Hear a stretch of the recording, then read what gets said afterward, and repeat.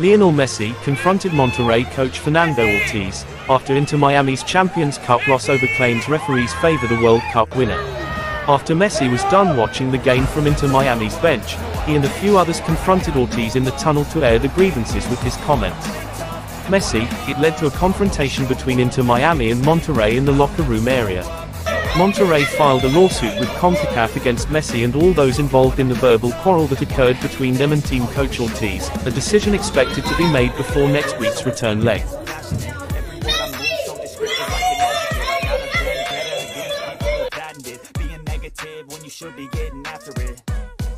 Muchos elogios para Messi, ¿te extrañó la, la actitud, la postura que llegó a tomar? No voy a hablar sobre el tema, es algo que surgió ahí, mis intenciones siempre fueron las mejores, pero lo dejamos ahí. Lionel Messi stops his car to greet some fans and take pictures with them while Antonella smiling on the wheel, with fans getting emotional.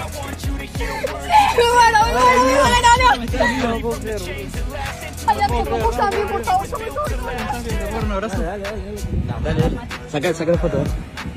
Saca a mí. Dale, dale, por favor. Te Leo. Gracias, Leo. Thanks for watching and subscribe the channel.